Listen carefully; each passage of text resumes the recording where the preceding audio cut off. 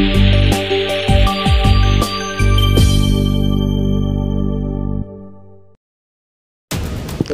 you.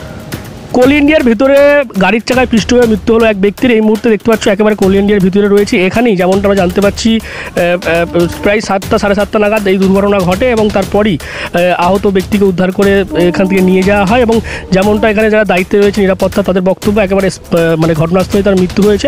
যদিও চিকিৎসকদের ওখানে পাঠানো হয়েছে সেখানে চিকিৎসকরা দেখে বলবে। এবং এই মুহূর্তে আমরা দেখতে পাচ্ছি যে ঘটনাস্থলে ডানকুনি থানার পুলিশ এসছেন এবং তারা বিষয়টি খতিয়ে দেখছেন।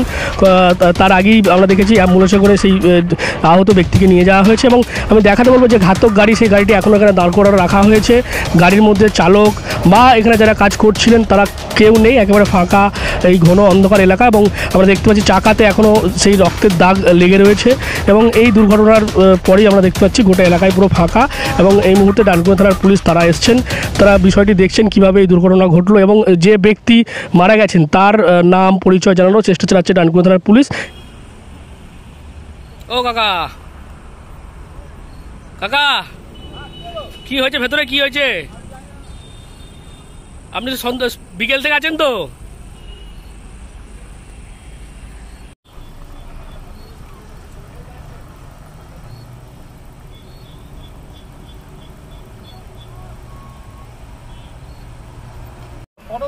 না? না কিছু মানে কিছু হয় না তো ভেতরে? আমরা জানি না আমরা তো গেটে আছি তো আমরা কি করে জানব হ্যাঁ? ও। তাহলে পুলিশ কেন এসছে? পুলিশ আমরা তো ধুলোর মধ্যে ঢুকে। না পুলিশ কেন এসছে? এখান থেকে না, সব। আমাদের যারা যেমন বলছে সেরকম আমরা এবং যেমন আমরা জানতে পাচ্ছি এই স্থানীয় সূত্রে এখানেই এক যে দেখতে পাচ্ছেন পাশেই বিভিন্নভাবেই এই যে বালি একেবারে সাদা যে বালি সেই বালিগুলো লোডিং আনলোডিংয়ের কাজ হচ্ছিল এবং সেই কাজ করতে গিয়েই কোনোভাবে বিপত্তি হয় এবং এই যে দেখতে পাচ্ছেন ডাম্পার সেই ডাম্পারের পিছনের যে চাকা সেই চাকাতেই পিষ্ট হয়ে মৃত্যু হয় ওই ব্যক্তির এবং এখনও পর্যন্ত তার নাম পরিচয় জানা যায়নি। ঘটনাস্থলে রানকুনি থানার পুলিশ এসছে এবং গাড়ির নাম্বার দেখতে পাচ্ছ ডাব্লিউ বি একচল্লিশ H one nine two eight এই নাম্বারের গাড়িতেই এই দুর্ঘটনা ঘটে। শুনলাম এখানে একটা ডেড বডি হয়ে গেছে এসে ওই ওদের এতে গাড়িতে তুলে দিলাম আর মানে মাল খালি হচ্ছিল ওখানে হয়েছে? হ্যাঁ মাল খালি হয়েছে কি কোনো খালাসি না ড্রাইভার?